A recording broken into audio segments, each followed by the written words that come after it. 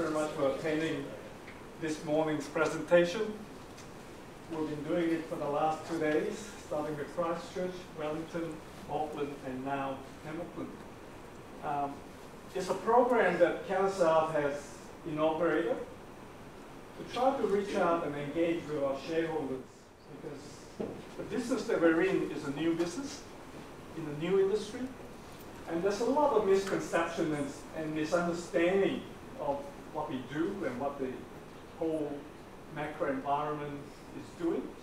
So the whole purpose of Mark and Nick is to try to articulate our views of how we see the whole industry is going and, and to give you a, a classic background on where the company is. I mean, I used the line over the last two days of a journey for over a thousand miles or even 10,000 miles starts with the first step. And of course, Cannasouth has done more than one step. We probably have 20 or 30 steps ahead of everyone else. But it's something different about coming back to Hamilton because this is where the company is based, in the fair city of Hamilton.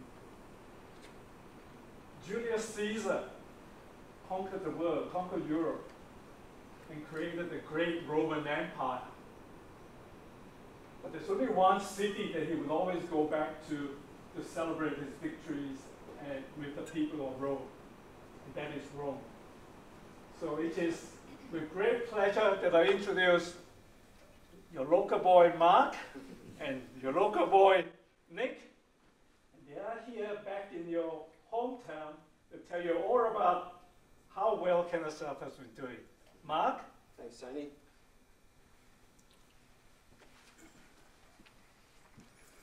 Um, and thanks everybody for taking the time to come and see us today. It's, it is, as Tony said, it's a real pleasure to be able to share this journey with um, our shareholders and certainly with, um, there's a lot of our team members here today as well, um, but in our, in our hometown of Hamilton.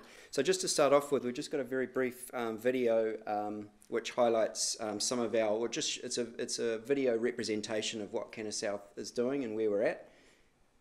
Sorry, Tony, missed your slide.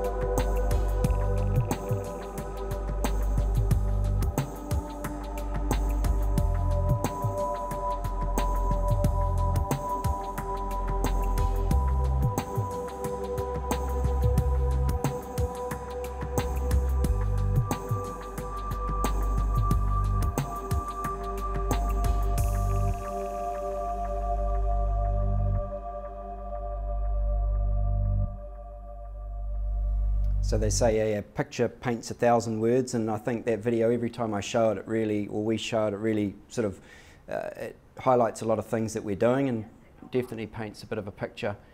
Um, so uh, I'd start off uh, with this particular slide because there a lot of people can see something like Cannasouth and think it just appeared from nowhere. But the reality is that the um, seeds were literally planted as way back as 2002. So some images here show um, so Nick in the hemp field and myself with my daughter. Um, we, Nick applied for one of the first industrial hemp licenses in the country back in 2002 and we've always believed in natural products. Um, at that time it was a fibre story, so we were growing the fibre uh, for research that we were doing. Um, again, Nick um, instigated some funding uh, for a couple of PhD studies and a master's study um, looking at using hemp fibre and uh, composite materials. So ultimately we didn't move ahead with that, but we were in the hemp textile business. So, um, you know, we've been in this space for a long, long time. And um, through the years, um, Nick identified at a certain point that CBD had a lot of um, medicinal value. And, and I guess I was similar to a lot of people, and Nick probably was as well, in that uh, we probably thought medicinal cannabis was just a bit of a Trojan horse. It was people just using it to get high or maybe feel a little bit better if they're suffering from cancer and going through chemotherapy. We didn't really understand that medicinal cannabis was, in fact, a, a real thing. Um, then when you started to see this thing CBD emerging and you looked at the anti-spasmodic and anti-seizure uh, properties of it, you thought this is actually quite remarkable and so there's a lot more to it. So um, you know, we started to look a little bit further and head in that direction. But really, without these early um, building blocks, we would not have been in a position to sort of um, move into this direction. Um, and these hemp trials were in the Waikato here, some of the best growing land for industrial hemp. Um, I think some of the height, what were some of the heights you got to, Nick? 14, 15 feet. You know, it was amazing. Grows a foot, a foot a week. So grown, yeah, grown for fibre, so not what we're doing today, but certainly it just shows how uh, valuable the Waikato area is for the subject. Oh, yep. Thank you. So, um, so when we did decide to pivot towards um, medicinal cannabis, um, at that point, you know, it was very, very difficult to operate in this area. Um, the only way you could operate is with research licenses. And so having relationships with the University of Waikato um, enabled us to start pushing in that direction. So, um, you know, through that process, we facilitated controlled drug licenses for the university um, some funding for a master's study to extract um, CBD or cannabinoids from industrial hemp, um, and also some funding for what we believe was the first supercritical fluid extraction of uh, cannabinoids from industrial hemp, which was also undertaken by Callaghan um, Innovation. So these were sort of significant milestones and they really set us on the way, but one with dealing with funding, which is very important when you're doing research to help you, you know, um, fund those activities, um, but also just navigating the regulatory pathway. And this is going to be definitely one of the most regulated spaces in the country. So, really uh, valuable steps in the journey. Um, I'd like to just touch on the licenses. There's a lot of misconceptions um, in, you know, about medicinal cannabis and what licenses are and aren't available at the moment. So the only licenses companies like ours can have are for research and scientific purposes. So there's no commercial production um, allowed under those licenses. It has to be for, you know, we're not able to produce medicines and give them to patients. We're able to just work in a scientific framework. So all of the licenses relate to the scientific activities that you're currently undertaking. So, um, you know, there's a bit of publicity about the uh, cultivator prohibited plant licenses that different companies are getting, and those are really important licenses. But the license up the top is the one that we feel is actually probably the, the, the most important part for our development. That's a license to deal in controlled drugs. So what that, um, and, and, specifically um, cannabinoids, and what that allows us to do is actually operate a um, research laboratory. You can see an image there of Dan um, working in the lab. So it's one thing to grow the plant that's you know complex, but only relatively complex. Um, certainly being able to actually extract and refine the cannabinoids, um, you're starting to get into much more complex areas. So in our current laboratory, we've got some of the most advanced extraction and refinement equipment that there is available in the sector, and that enables, enables us to actually um, access some of the and purify to pharmaceutical quality some of the compounds that we find in the plant. Now that's really important because if you're undertaking scientific research um, and moving into drug discovery, you really need to have um, repeatable pharmaceutical quality compounds. So very, very important. Um, import license, we uh, successfully imported some dried cannabis flower early on before our own cultivation facility was operational. Again, this is very difficult to do. You're importing dried cannabis from, you know, um, many airlines won't handle it. You know, this is still a very, very new area. So that was actually a significant achievement. Um, following on from that, um, also achieving licenses to bring in our first four cannabis cultivars or cannabis varieties bred specifically for cannabinoid production as opposed to industrial hemp. So that's easy to say, but it's harder to do. New Zealand has very, very strict biosecurity and phytosanitary certification requirements when you import seed. Um, so there's many industrial hemp varieties that meet those standards, but cannabis seeds and cannabis breeders are largely still in the in the black market or in the grey market. So it's very hard to find breeders out there that are able to actually do that. So through that process, we signed an MOU with one of Europe's leading cannabis genetic breeders, um, and we successfully managed to get phytosanitary certification to bring our first varieties in. So that was qu quite a milestone for us, and it enabled us to get on with our cultivation, which was really great. So what is medicinal cannabis? I like to touch on this every time because this is obviously at the heart of the matter. It's one thing to look at the economic opportunities, but it's also a complex area and it covers a whole spectrum. So at one end you've got pharmaceutically approved medicines such as Sativex gone through clinical trials and have been approved for specific conditions. And ultimately that's the future of medicinal cannabis getting right through to that end of the scale. Um, at the other end, you've got, uh, you can see CBD infused water here. You're going into the health and wellness sectors, um, and it covers everything in between. So within that spectrum, you'll find uh, people smoking cannabis for therapeutic or medicinal value, um, or extracting and making simple oils at home, or green fairies doing that. And so it, it definitely covers that full spectrum. Um, in New Zealand, what's being proposed is a pharmaceutical quality model, which means that medicines will need to be produced to a medicine standard. Um, they won't necessarily need to go through clinical trials, although that's ultimately where um, you want to be taking your medicines as you develop them. So that's going to enable you know quality standards so that um, when you walk into a pharmacy and collect your prescription, you know what it says on the on the medicine label is what will actually be in there. It will be a very high quality. So that's an important distinction with New Zealand. Whereas in other jurisdictions, a lot of these other, especially CBD infused waters and things like that, are actually unregulated. So you know um, some people don't think it should be a pharmaceutical model, but you know we, we tend to think it's going to protect patients and also ultimately um, protect the integrity of these products as they're further developed. So you know how does it all work? So this is the really complex area. I'm certainly not a scientist, so I get up here and sort of talk to these slides as best I can. But essentially, um, what underpins it all is what we call the endocannabinoid system, which is a series um, of receptors within us that help regulate a whole bunch of um, subsystems within us. Um, it's a very important um, discovery that's you know only relatively recently been made, and we're certainly learning more and more about it. So it just so happens that um, all mammals produce cannabinoids ourselves. Um, they're called endocannabinoids, and so these these compounds bind with certain receptors that we find within our bodies, and it just so happens that the cannabis plant happens to produce um, very similar compounds called phytocannabinoids.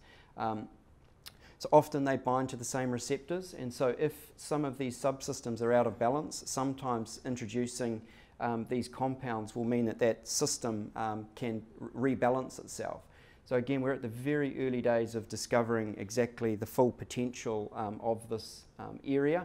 Um, and, and probably, you know, the fact that the cannabis plant produces these compounds is interesting. The, the, the, actual system itself is probably much more interesting and where the science is going to show that, that these various subsystems go. I often describe it, you, you've thought you've been living in a two-story house and you've found that there's a whole other story in the house, you know, and it's actually maybe the best floor of the house as well. So it's very important anyway. So um, I touch on here a couple of the main compounds. People are very familiar with THC. That's the compound that actually produces the high. Um, people are also quite familiar these days with CBD, um, a non psychoactive. Well, it does produce very, very slight psychoactive activity, but it's not what you would describe as being a high. Um, CBD is showing, um, you know, efficacy, anxiety, sleep disorders, chronic pain and inflammation. Um, THC, treatment of nausea, spasms, um, appetite. Um, there's, a, there's a whole range of different things that these compounds um, work within. Um, and behind that, there's over 100 compounds within the plant. They're discovering more all the time. Um, and a lot of these are showing uh, efficacy in different areas as we start to isolate them. but CBD and THC is certainly the most prevalent within the plant. So Cannasouth is a science-led company. We're very interested in getting um, and getting to these other cannabinoids. Um, another thing that you'll hear quite often in the subject is what they call the entourage effect, which is where um, if you isolate one compound, a theory is that it doesn't work as well um, if not surrounded by other compounds. So that um, is very interesting, but it does present some problems in a pharmaceutical model.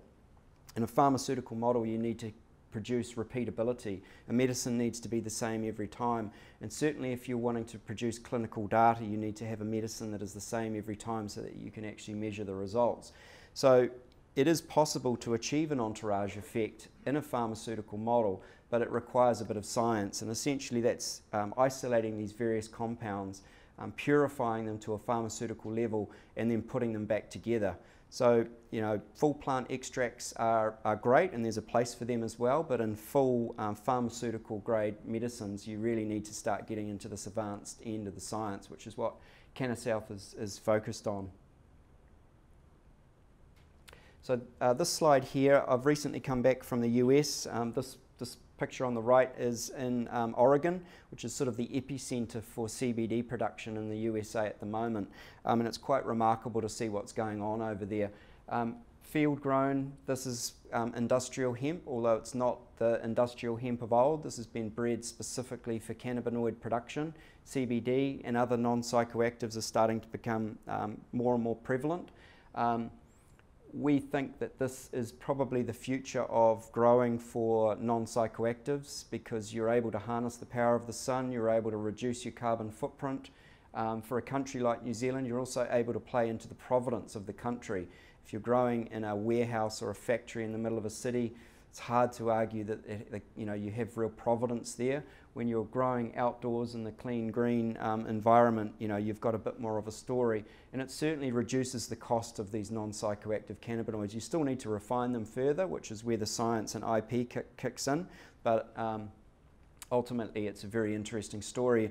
And, you know, some of the growth areas, uh, all the focus on medicinal cannabis or a lot of the attention comes because of THC. People can use it to get high. But the reality is that um, you know, this non-psychoactive, non-psychoactive area or, or, the interest in cannabinoids that don't actually produce a high is becoming bigger and bigger and in all likelihood will overtake the use of THC um, you know, in the market everywhere. So, you know, some of the key areas for the development of medicinal cannabis. So, a regulated medicinal cannabis market, that's what we're about to see here in New Zealand. Um, this will offer patients consistency of therapeutic effect. If you're suffering from epilepsy or a specific condition, you want to be able to make sure that the medicine you take is the same every time. You know, part of the problem that we've had um, at the moment is that people are accessing these products on the black market. There's very little consistency. I saw an article recently from the ESR where they're testing different compounds and they're finding somebody's bought what they thought was a CBD product. In fact, some, it's mainly THC or vice versa. You know, so this is a risk for patients. There's contaminants in there, pesticides potentially. Um, you know, there's just absolutely no control of knowing what people are actually getting. Um, next generation medicines, so I touched on isolating these compounds. Um, product formulations, um, research that enables you to actually get these compounds and then start to unlock some more complex conditions, or areas where we're finding medicinal cannabis is showing some efficacy, but there's still room for improvement. And so, by being able to build specific medicines, you're able to target um, those conditions. And that's where the IP lies as well. And ultimately, um, a lot of the products that we're seeing in the marketplace at the moment, if you look internationally, are very simple formulations of THC and CBD in a carrier oil and a tincture. They're actually quite primitive medicines. And so there's a, there's, a, there's a huge area for development there, but it really requires being at the high end of the science, which is what Cannasouth is all about. So everything we've invested in up until now, our science approach, is all geared at getting to that next generation. If we just chase first generation medicines, it's a race to the bottom. So we really need to be focusing on um, and we will produce these first generation medicines in all likelihood, but we need to be thinking three, five, ten years ahead and really moving in that direction. Um, so the product categories in New Zealand, again, we're going for a pharmaceutical quality model. So a doctor will write a prescription, you'll go to the pharmacy, the pharmacist will fill it. So medicines will, in all likelihood, look like what you would normally see out of a pharmacy. So tinctures, again, quite primitive. Soft gels, topical creams, transdermal patches, tablets, nasal or oral sprays, nebulizer inhalers. Um, you know, there, and there will be further, you know, options as we move forward. Um, you know, for development, definitely cannabis breeding, cannabis cultivars. It's one thing to isolate these or identify these individual compounds, um, but often they're not present in very high um, quantities in the individual plants. So by the time you extract them and refine them, they don't make um, commercial um, sense. And so it's a matter of starting to breed those varieties to start targeting those specific um, cannabinoids um, growing techniques. It's all about everything New Zealand does well, especially in the horticultural and agricultural sector, is what we really need to focus on with the raw production, which is which is streamlining, doing it better, you know, and that's that's what we're definitely focused on. And you know, often, especially in Oregon, you know, a lot of the processing is still quite primitive. They're being hand harvested, hand hung. It certainly haven't moved into a proper industrialized, you know, approach, efficient approach. So you know, there's lots of room for development there. So what's happening in New Zealand? So there's you know a lot of confusion here as well. A lot of people think, oh, the referendum, medicinal cannabis, is, is it even going to pass? You know, they think it's somehow caught up in that particular um, debate. Um, it's not. The law has been passed. Um, it was passed in December 18, and there was a requirement for the regulations to be um, finalised by December this year. So the race is on. Um, in July, the Ministry of Health uh, released their draft regulations for public consultation. Um, and they've done a very good job in what is a very, very complex subject. You know, there's a few concerns um, within that, what, you know, what's being proposed. I think um, our biggest concern is prescriber education. We still haven't seen a clear um, signalling from the Ministry of how they're going to deal with that particular issue, because ultimately, if prescribers are not um, informed, they're not likely to write prescriptions. And that's going to limit access for patients to these medicines, and it's also going to limit the, the economic opportunity as well uh, for a company like Cannasouth.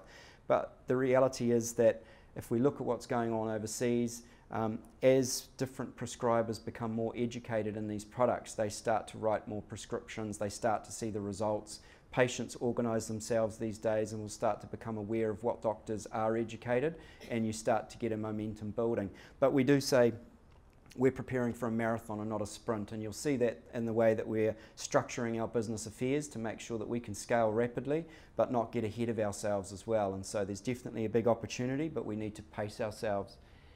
So in December, the regulations should be um, finalised, and we'll know, you know, we'll have a good look at, you know, what's going on then. And then Q1 next year, uh, the scheme rolls out, and companies like Cannasouth will start applying for licences. So another concern is that the ministry is under-resourced to be able to deal with what could be a large number of applications. There are quite a few different licence types as well. Um, cultivation is going to be the big area where I think a lot of people are going to want to be involved. Um, possibly slightly less as you get into manufacture medicines because that's a very, very complex area of the value chain. But it, look, if they're not resourced to deal with this, it, you know, it could take time. So we have to be prepared for that as well. So the scheme itself, so a licensing regime, I've touched on that just a little bit. Um, you know, essentially that's, that will cover the broad range of activities within the space. Um, an agency that will oversee the whole scheme and how it's rolled out and its efficiency and what's actually happening and then the quality standards, which are the important part, which is how these um, medicines are, you know, meant to be created, the cultivation standards. So the ministry um, has been very proactive in dealing with industry. We're a founding member of the New Zealand Medical Cannabis Council, which means that we're um, actively involved with dealing with the ministry. We're down there once a month talking to them about, you know, and they are interested in our feedback. You know, they've indicated quite clearly that they want to allow an export opportunity for companies in this space in New Zealand. And so that's important because New Zealand ultimately only has roughly 5 million people. So we need to access those export markets. And so the ministry, as I say, have indicated that you know, they're keen to have the regulations drafted in such a way that allows us access to those markets. So, you know, we're quietly optimistic. As I say, notwithstanding some funding issues potentially at the ministry and, um, you know, this prescriber education um, issue. So countries where you know medicinal cannabis uh, is available or the laws have been changing. If we look at this map again in six months, it would have changed probably quite dramatically. There's a fundamental change going on around the world, and you know, look, you'll hear an argument, you know, oh, there's, there's no clinical data or it's, you know, it's just all anecdotal evidence. The reality is medicinal cannabis has been available in good portions of the US and in growing areas for a long time, but it's still federally illegal. So what that's meant is that it's very difficult to actually do legitimate research in the US. Um, and it also means that the products that are available um, vary from place to place, and it's very difficult to get clinical data out of that sort of um, regime. You know, Having said that, there is a lot of clinical data actually out there. There's more than, than people think. And part of um, a prescriber education program is actually pulling that data together and consolidating it so that physicians, um, prescribers can actually find you know, that information more easily. So, you know, rapidly changing landscape and um, you know, it's really quite exciting to be involved in it. Now, the size of the opportunity. So, you know, of course, um, as shareholders, you'll be interested in what the size of the potential market is. Um, Deloitte recently uh, did a study looking at the Canadian market, and, and in Canada, um, you do have a legal recreational market, but they estimated that the size of the Canadian medical market, they did an estimate on that. Now, that's what that indicates is uh, because that's quite an advanced uh, medical market, even if the products aren't that advanced. It, it, what it indicates to us is really an inherent underlying demand for these products. So if you take the figure that they produced and you, you look at the population of New Zealand and convert it into New Zealand dollars, you're looking at a market size of say 200 odd million dollars. So as I say, the caveat there is that that's the underlying demand potentially. Um, prescriber numbers were going to mean that the market is going to start much, much smaller than that and take time to build to that sort of level. But then this is still working with first generation medicines. So by the time next generation medicines come, you know, you've got a whole other wave of, of demand that will start to build. And also um, CBD in its own right is only just getting going. It's really becoming more and more popular as people are starting to understand it. So in the US, there's you know there's various reports uh, on the size of the CBD market, and you know some reports you see 20 billion US dollars by 2020, 2022, 2024. Um, you know, in most of the US CBD is unregulated, so it's very difficult to actually measure the size of that market. But it is it's a rapidly growing market. Um, the lack of regulation does present problems in that particular area because there's no consistency of quality and there's a, there's a danger if people are buying a CBD infused water with very little to no CBD in there or the CBD is not in there at all. Um, they lose faith with what it's all about. So in New Zealand, that's not the approach that's being undertaken. We're going to have a regulated market. CBD is a medicine under the Medicines Act, so doctors can prescribe that right now. Um, there is some talk of looking at moving it from a, a prescription level to, say, pharmacy or pharmacist only. Um, we do have medicines that you can buy at the supermarket, paracetamol, ibuprofen, etc. So, you know, we believe over time these non-psychoactive cannabinoids, as they're better understood, will start to move down from being controlled drugs and starting to move into, say, an over-the-counter type situation. But as I say, quality standards aren't such a bad thing. They do protect the, the consumer and ultimately the, the integrity of the product. So yeah, the complex value chain, I do like to talk about this as well because people often think, right, I'm going into medicinal cannabis, I'm going to get a license to grow some medicinal cannabis, I'm going to extract an oil, hey presto, I'm in the medicinal cannabis business. Um, yes, potentially you can be a cultivator or you could do simple, well, simple, you could do extractions, um, but the, the value chain itself is much, much more complex than that. Um, so from cultivation, you can have broad acre cultivation, such as I you know, showed a slide there, but then you can go right through to pharmaceutical quality, GMP-esque type situations in you know, very, very highly controlled environments. Um, cultivating high THC varieties are going to be heavily regulated, security, proper persons, protocols. You know, there's a lot. It's a massive undertaking to actually get yourself operational in that space. So lots of people are going to be interested. I think for high THC, it's going to be very difficult for many companies to actually um, do it um, effectively. Um, extraction, so you've got first phase extraction, so there are opportunities there around the country to do um, basically do the first supercritical fluid or ethanol extractions, um, but that's complex in its own right. These are um, complex pieces of equipment. Uh, it, it, amazes me as we travel around to various um, trade shows and look at different types of equipment. There's a, there's a saying that they all roll out, oh, this is a turnkey solution. Oh, you buy this machine and it's turnkey, you'll be up and running. Um, but it's like if I handed you a violin and said, this is a turnkey violin. So maybe we can teach you, you know, one tune or song, or but, you know, where do you go from there? So that's why we've invested heavily in developing our own methods and expertise and understanding of running these equipment.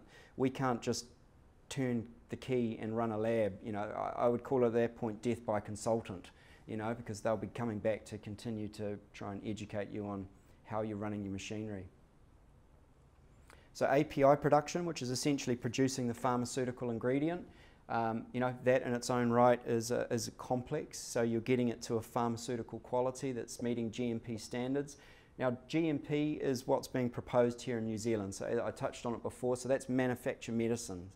So you can say GMP really easily, but if you start to actually investigate how difficult it is to build a GMP plant validate all your processes, how long that's going to take, and produce something to medicine standards. Now, that's a really big barrier to entry. It's also a big opportunity if you're able to be organised enough to get into that space, and that's where Cannasouth's going. Um, formulation, now, this is a key. Um, if you can design better medicines that are more effective um, for the patient, um, that's, that's where you want to be. Now, formulation's complex. Um, to do that, it's easy to say, very hard to do, but it's a minefield as well. You've got patents, you've got freedom to operate, you've got clinical trials, randomized controlled trials. You know, it's a very, very complex area of the business. Um, so at Cannasouth, again, we're focused on the science, on building a team that's capable of moving through these pathways and actually achieve um, results. So uh, medicine manufacture, again, you know, very complex. Um, medicine wholesaling, support services. There's a lot of auxiliary businesses that will support other you know, groups within the region, um, within the sector, software development. It just, you know, there's, there's, there's quite a big economic opportunity for support services in the space. So Cannasouth, yes, we successfully listed on the NZX, so that was um, an exciting day for us, but really just the signal, the beginning really of the journey. Um, you know, that's a massive body of work in its own right um, to be to offer a regulated or to be in that regulated environment. Again, not every company is going to be able to do that. Um, we're going into one of the most regulated sectors in the in the in the country, and so it didn't frighten us. We want to operate to the highest levels. We want our governance structures to be at the very highest levels. We want New Zealanders to have a chance to invest in the sector through a regulated offer. Um, you know, you've got options when you're raising capital, private, um, crowdfunding you know, we believed um, that New Zealanders did want to invest in the sector, and I think we're starting to see that. Um, and you know, being listed and being, um, you know, our shares are tradable, so it offers shareholders liquidity, so they can choose to support us or not. So, um, and we're confident with that because we knew that once we, we achieve that milestone, we need to get on with building the business and hitting milestones, and that's that's exactly what we're focused on. So milestones, just touched on that. So this is obviously critical.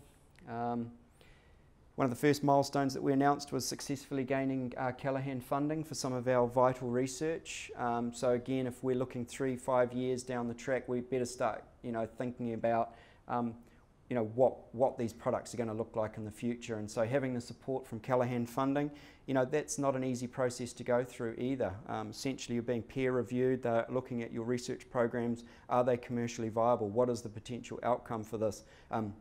Is this in, in, New Zealand's interest to invest in? Because ultimately, this is the government's money that is going into some of these funding projects. So, drug um, discovery, looking at neuropathic pain initially, but really, this is just a foundation study for drug discovery for Cannasouth. It's just the beginning. Um, and then drug delivery, which is um, not couriers and Uber Eats of cannabis. It's actually how we deliver the cannabinoids into, you know, into the human or the animal in that case. And that's an important thing to touch on too. This is not just a human story. This is veterinary as well, and we're very interested in that sector. Um, so, you know, and I'll just touch on here. It really goes back to the last slide. You know, a lot of people think, well, why would Cannasouth list at such an early stage? Well, the reality is this industry is coming. We can see it happening around the world.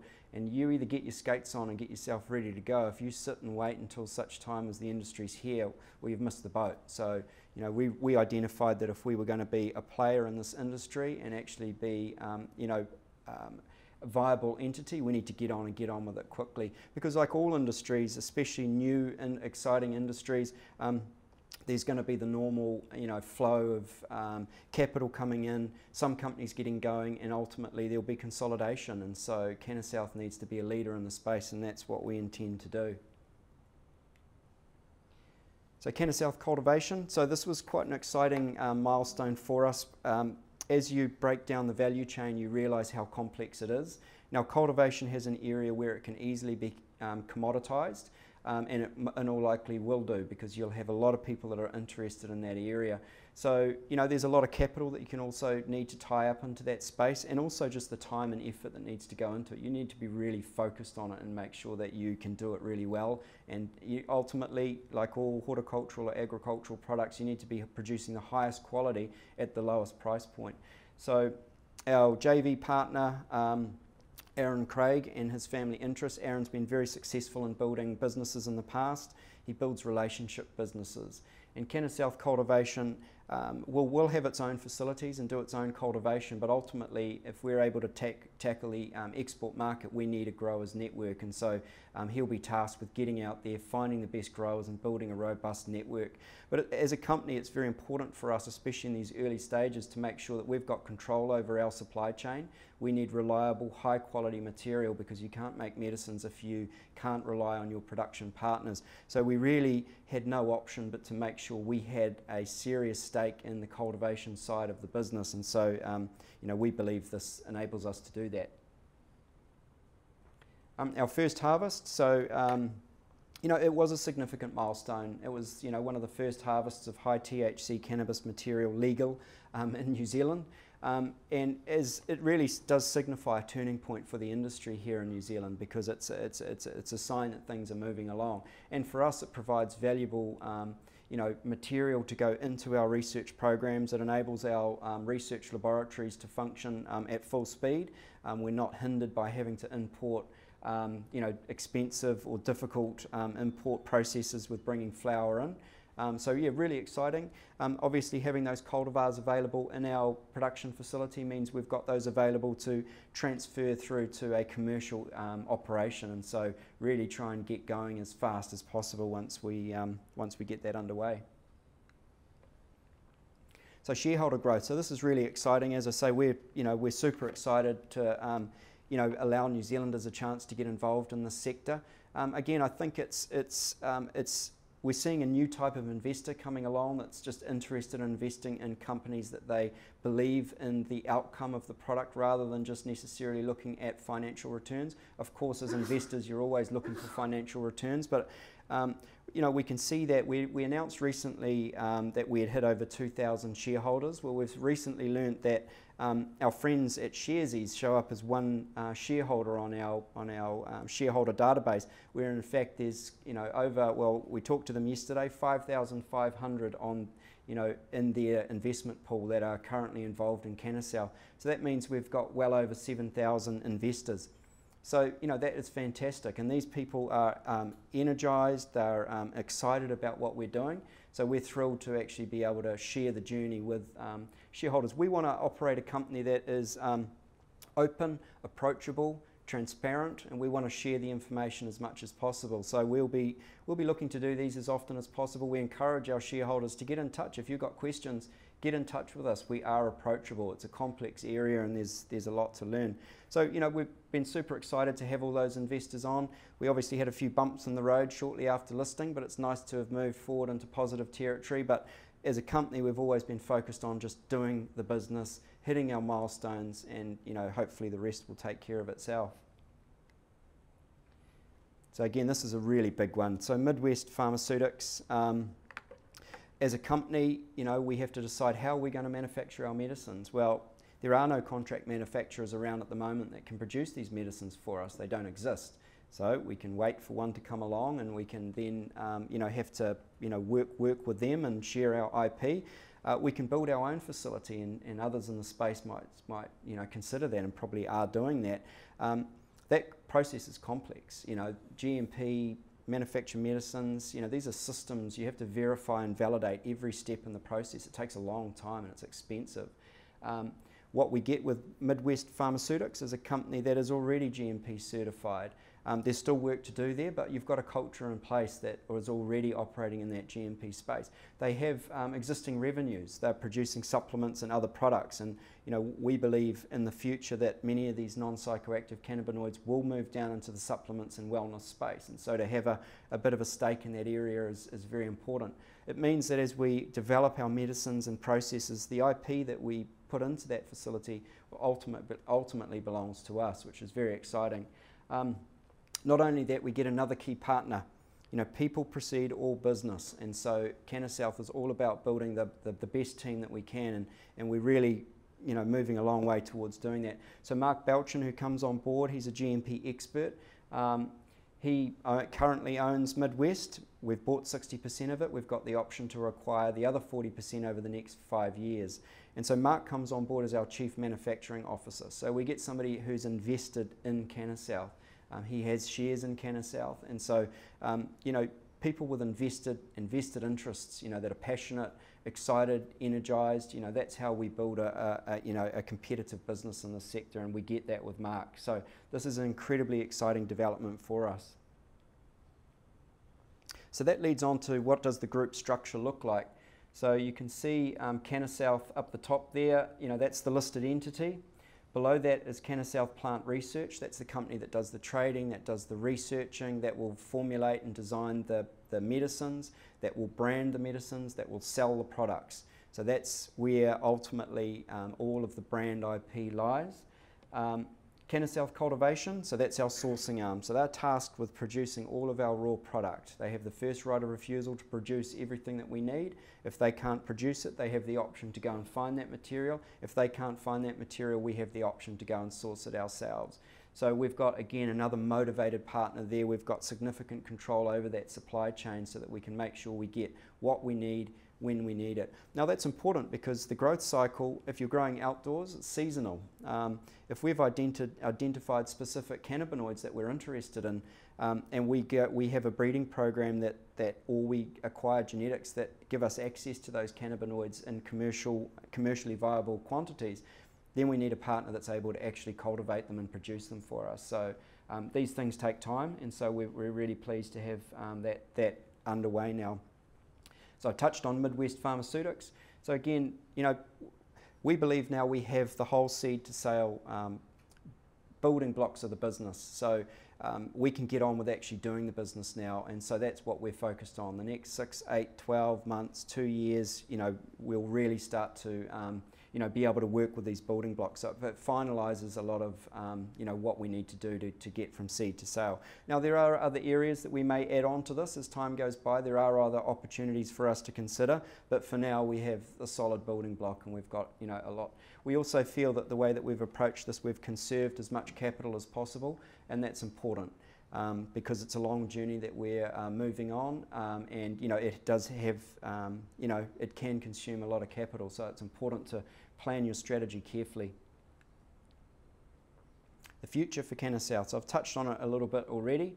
Obviously, product initiatives are important. What are you going to sell? You better sell something. So, um, you know, we're working on product formulations at the moment, and we'll be, you know, able to announce um, in due course what our first products will look like. Just to again understand a little bit about GMP um, and especially the timeline for licensing. If, if licenses are, are available early next year, we don't know how long the ministry is going to take to process those licenses. Could take them two weeks, could take them four weeks, six weeks, eight weeks, we don't know. Um, once you get your license, then you start your growing, your first grow, um, you produce your first material, you need to start sending that material through the manufacturing pathway. Each step steps of that pathway in a medicine's um, environment needs to be validated. That takes a long time. So if you actually break down the supply chain, it will take a very long time for New Zealand Providence material to start coming through the pipeline. So as a company, we need to look at other um, opportunities, such as um, you know, bringing in white label products to our formulations uh, from overseas. That enables you to get a product on the market sooner. Um, bringing in active ingredients and then formulating them here in New Zealand.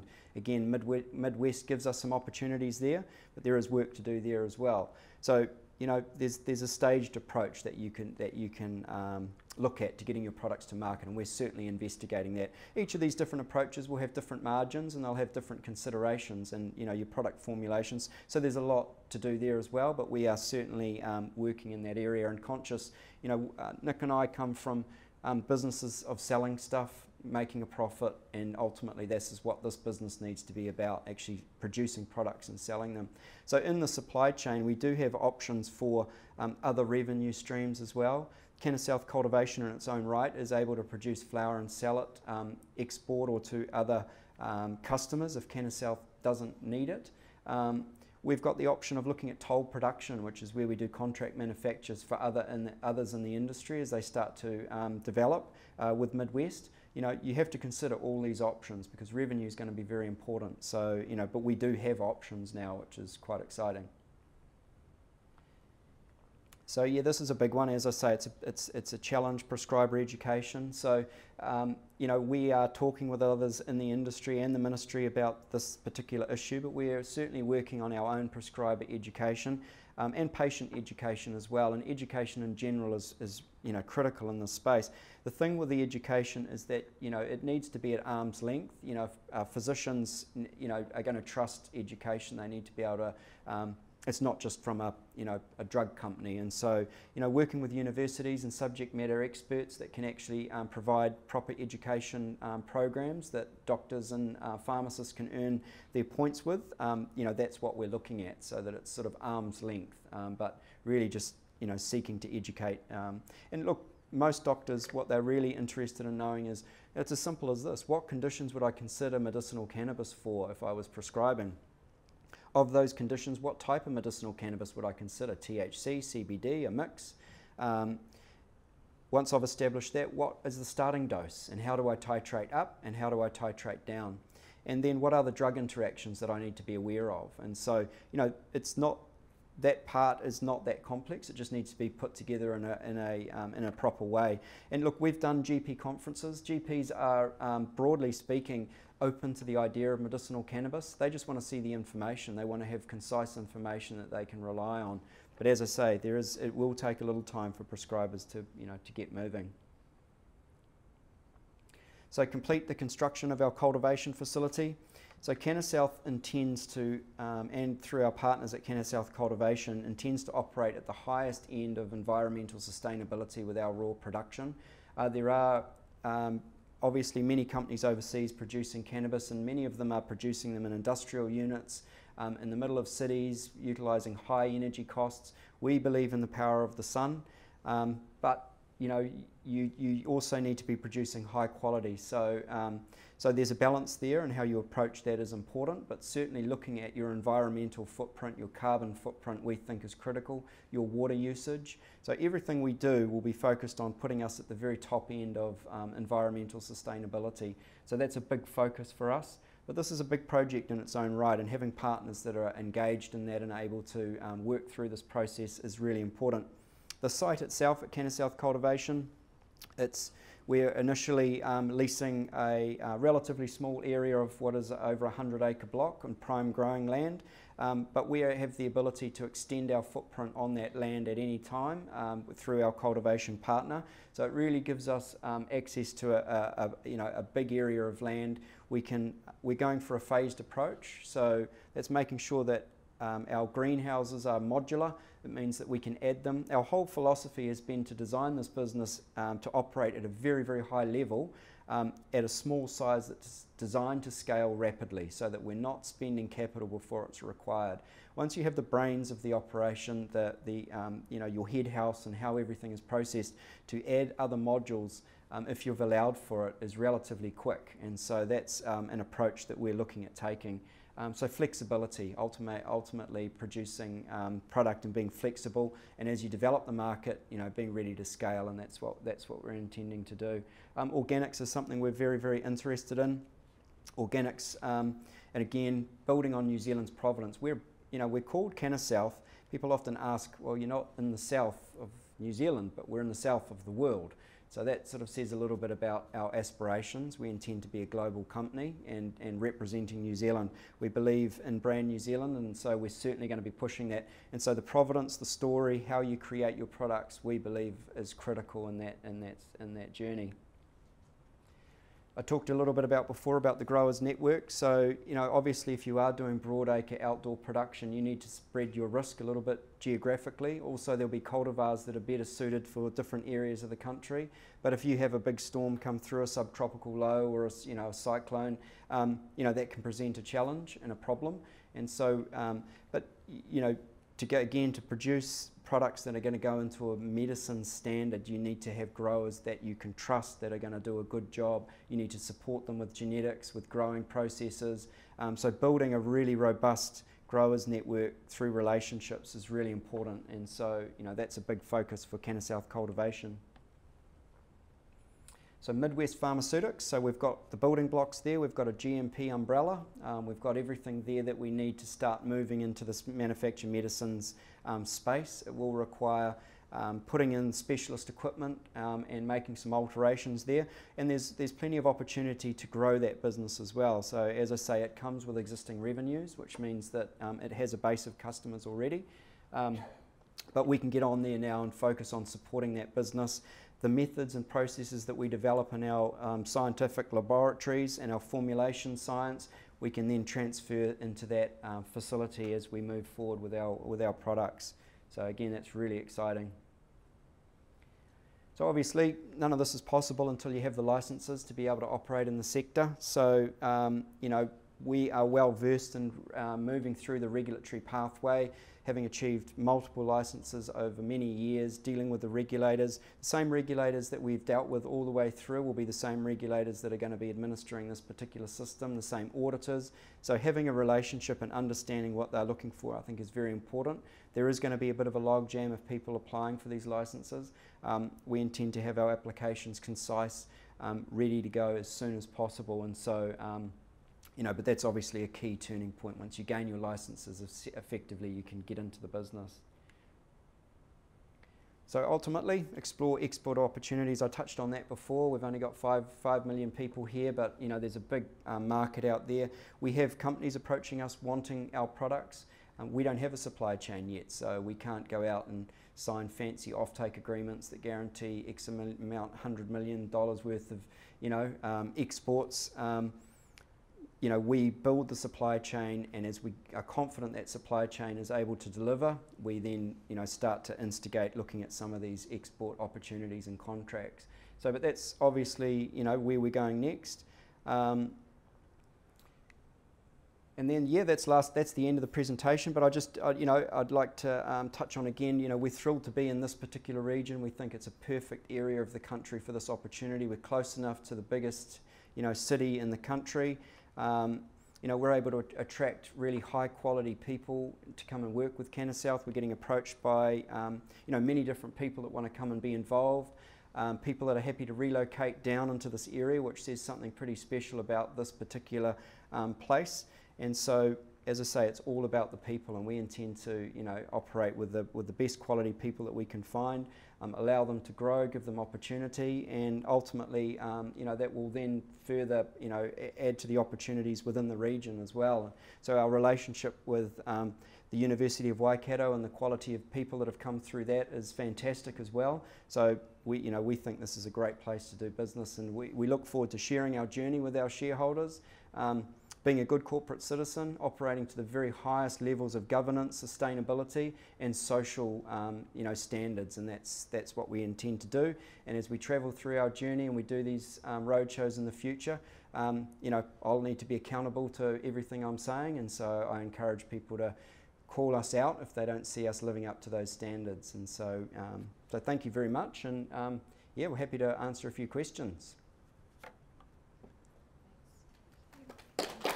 Worries.